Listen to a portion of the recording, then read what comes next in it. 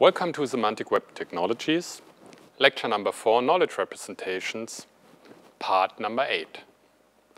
In the last part, we have learned about the resolution technique or resolution method for automatic induction of a tautology or a contradiction. And we have learned this for propositional logic, how to prove that a knowledge base is correct, how to prove that an implication is correct, or how to prove that a fact is implied or entailed by a given knowledge base. And now we want to extend this methodology to first-order logic. So in first-order logic, it gets a little bit more complicated because here we have variables and functions inside our clauses or inside our canonical normal form. So what we see here, for example, are two clauses. And these two clauses, of course, they contain here predicates, they contain variables, they contain functions. And the trouble is, okay, how can we here identify literals that are negated and not negated and then resolute them or do the resolution step and identify them beforehand. So it's a little bit complicated. But what we can do is, of course, we can do substitutions. And this means that, for example, we can substitute variables by constants. And also we can substitute variables with functions of variables.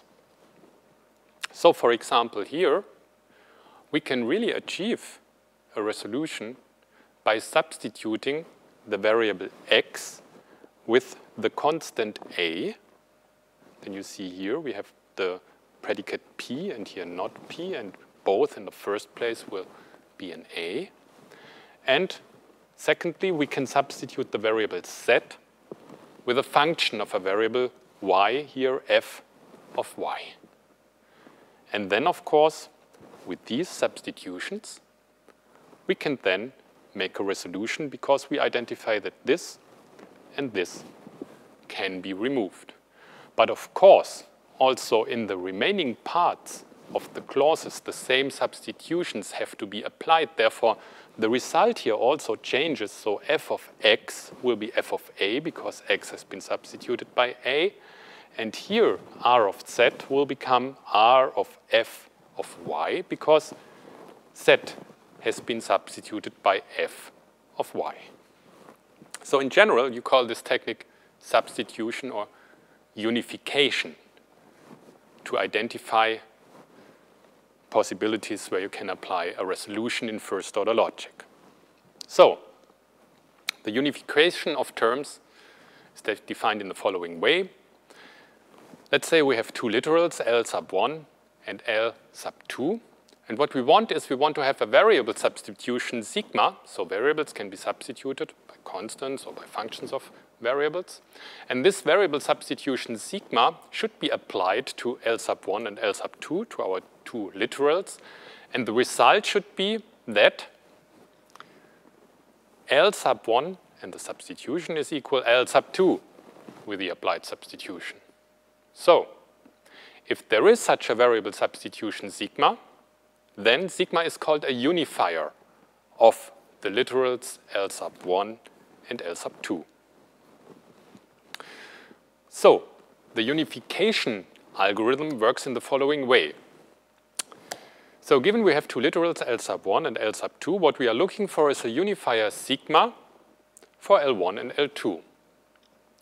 We have to consider several cases. So first case, L1 and L2, they both are constants. Then they are only unifiable if L sub 1 and L sub 2 really are the same, when they are equal. Otherwise, you cannot do a variable substitution. So if L1 is a variable and L2 is an arbitrary term, then they are unifiable if for variable L1, the term L2 can be substituted and variable L1 does not occur in variable L2. So this is mandatory. The variable you want to substitute, or um, then uh, the variable must not occur in the term L2. Otherwise, it's not unifiable. And the third case we have to consider is if L1 and L2 are predicates or functions. So for example, we have here predicate L1 and predicate L2, and they have the arguments S sub 1 to S sub m, and here T sub 1 and T sub n, and they are only unifiable either if they are really both the same, so PL sub 1 equals PL sub 2, or the arity of both is the same, so the m is the same as n, n equals m, and all the terms that you have here, S sub i and T sub i, they must be unifiable. It means a term S sub i must be unifiable with the term T sub i. Only then both are unifiable. Only then these literals are unifiable. Let's take a look at a few examples given here in the table. So let's consider here in L sub 1, we have P of the variables xx, and we have on the other hand P on the constants AA. Then it's pretty simple. We can make a unification where we substitute variable x with constant A. So this is the substitution here. We substitute x with the constant A, and then they are unifiable. No problem. Look at the second row there. It's a little bit more complicated. We again have p of the two variables x, and here we have p and two different constants, a and b. So the trouble here, you have the same function, and you has to, have to either substitute x with a or x with b. So not both at the same time. So here it's not applicable, and you cannot unify these two terms. Here L sub 1 and L sub 2 are not unifiable. In the third row, there it's much more easier because we have here different variables, and here variable x can be substituted with constant a, and variable y can be substituted with constant b, as you see here. So this is pretty easy unifiable. On the other hand, this also holds, for example, if you have here two different variables and here two twice the same constant, then you substitute simply x with the constant a, and you substitute y with the constant a, as you see here, and then both are unifiable. Okay, more complicated, we have here predicate p, function f of variable x, and a constant b, and here we have predicate p, function f, and here we have variable z. And this function f is a function of constant c. So the first thing that you can do, for example, here, you also have f of x and here f of c. You substitute variable x with constant c. And the next thing you can do, you cannot substitute here a constant. You only can substitute a variable here. And then here you can substitute variable z with constant b. And then again, both will be uh, unifiable. Okay, let's take the function on the second place. So here we have a predicate p of variable x and then a function of x. And here we have a predicate of the two variables y and z. And what you can do here, for example, you can substitute this function x with another function y, a variable, of course. And you can substitute here variable z with f of x. And it must be f of y because you have substituted here f x with y. So you have to take this into account. So make one substitution after the other before you do, in the end, the unification. On the last example, it's not, again, possible to unify both of them. Here we have the predicate p of the variable x and the function of x, and here we have the predicate of the two variables y, y. And yeah, you can substitute, of course, x with y. And then you have here, again, y, and you have to, ah, it's not, it's not possible to make a unification here. Okay, so let's come back to our original problem. As you can see here, these two clauses are pretty easily uh, unifiable. What we do here is first we substitute x with a constant a, that is over there, and then we substitute z with the function f of y here, and then we can make a unification, uh, a resolution, because then we have here a literal and a negative literal, so there can be a resolution step. Let's try to make this resolution then in a real example. So let's take this, this example. We have the knowledge base given here, split it in a T-box with terminological knowledge and assertional knowledge. And in our T-box, there we make clearly uh, that here is a human, and a human is defined that um, a human always has some parents. And we define what an orphan is, and an orphan, of course, is a human whose parents are not alive anymore. And then we have the assertional knowledge in the A box, and we say that Harry Potter is an orphan, and we say that James Potter is a parent of Harry Potter. And the question is now, given from these two facts that Harry Potter is an orphan, then James Potter is a parent of Harry Potter, and we say what an orphan is and what a human is, can we deduce from this knowledge base that James Potter isn't alive anymore? So let's try to do this. So what we have to do is we have to prove that the knowledge base entails that James Potter is not alive. So we have to prove that the knowledge base implies the assumption that James Potter is not alive, that this is a tautology. And to do that with resolution, we have to negate this statement. So we have to prove that the negation of this statement, so we have put braces around there and put a negation in front of it, this should be a contradiction. What do we have to do now? Of course, simply we have to transform this into a canonical form, into the clausal form. This is, of course, complicated. And, of course, we can make lots of errors within that. So first thing you know, you have to put the negations inside, so we have to compute the negation normal form, and then after that you have to compute the so-called prenex normal form. And here I have already given you the prenex normal form with all the quantifiers we have here, and all single clauses have here different variables where uh, the quantifiers were bound to, and uh, as you can see here, um, it's getting longer and longer. Next step would be then this Skolem normal form, and after this Skolem normal form, we had the uh, conjunctive normal form or the clausal normal form, and I give you the finished clausal normal form. Of course, you can take this in the exercises and can transform it by yourself with the rules given in the last part of the lecture where, you, where we have learned about the canonical forms, and you should do that. So this is the clausal form, and of course, the clausal form then also can be written with the curly braces. And there we see we have one, two, three, four, five, six, seven, eight clauses. And on these clauses, then, we can apply resolution for first-order logic.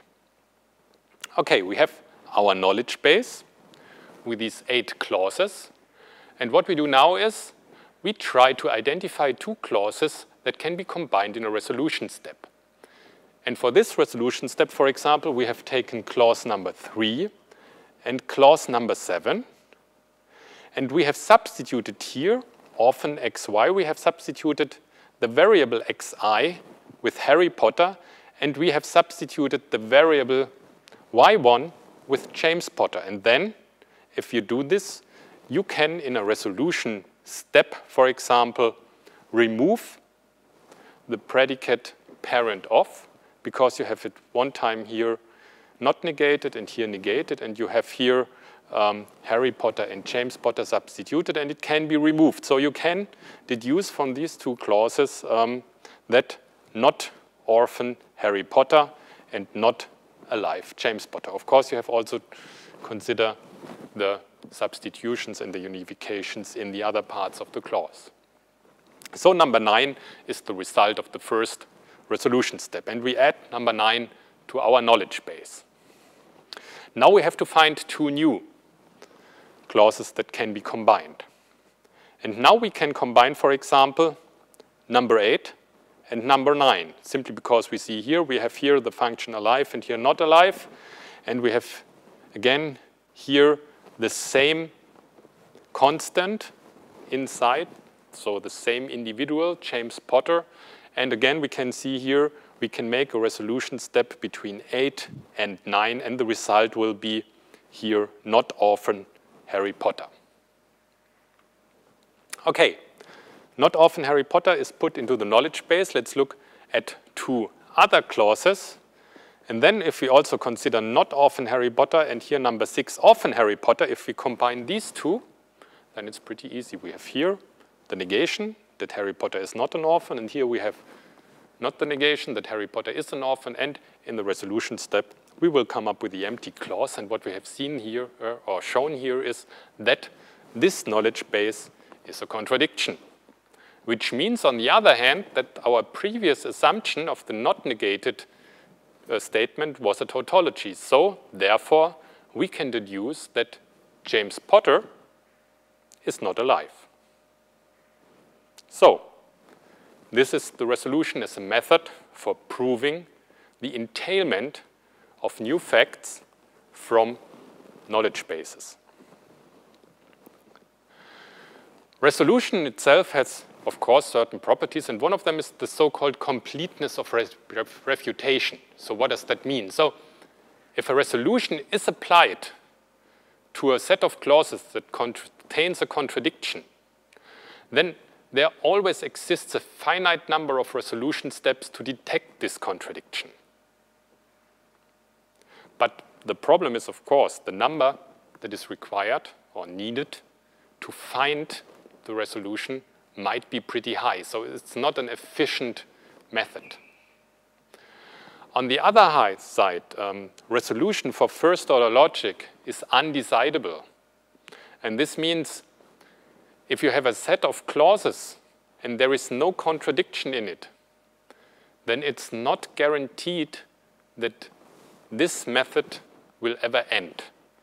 So you will, until infinity, combine clauses with other clauses and will never find uh, a contradiction and will never find in a resolution step the empty clause. So therefore, resolution for first-order logic is undecidable. But on the other hand, and this for working in practice is pretty convenient, whenever there is a contradiction, you are able to prove it. And this, of course, is what we want. So this is one method to automatically prove this entailments and that entailments are true. But there are other methods. So the method we have seen here works for first-order logic, works for propositional logic. For description logics that we need for knowledge representation, we will apply another method, which is a little bit easier. But I wanted you to show the traditional methods to, uh, for, for um, uh, making automatic entailments and give a proof of this entailment.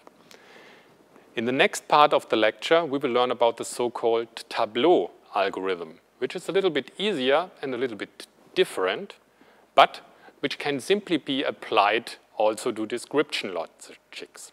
And description logics will also be the next lecture, there you will learn more about description logics and its representation in the semantic web in the form of the web ontology language. But for that, we need the Tableau algorithm, and this will be the next part of the lecture.